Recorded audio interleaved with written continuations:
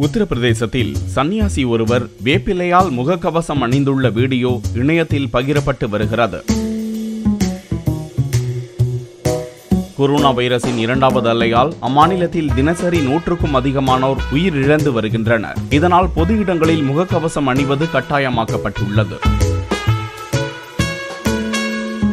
இந்நிலையில் சித்தாப்பூர் மாவட்டத்தை சேர்ந்த ஜுஹாது பாபா என்ற சந்நியாசி நூலால் சுற்றப்பட்ட முகக்கவசத்தை அணிந்துள்ளார். அதனுள் வேப்பிலை மற்றும் துளசி இலையை வைத்து அதனை தனது முகத்தில் அணிந்துள்ளார். மருத்துவ குணம் வாய்ந்த இரு இலைகளையும் வைத்து தானே இந்த முகக்கவசத்தை உருவாக்கியதாக ஜுகாது பாபா தெரிவித்துள்ளார்.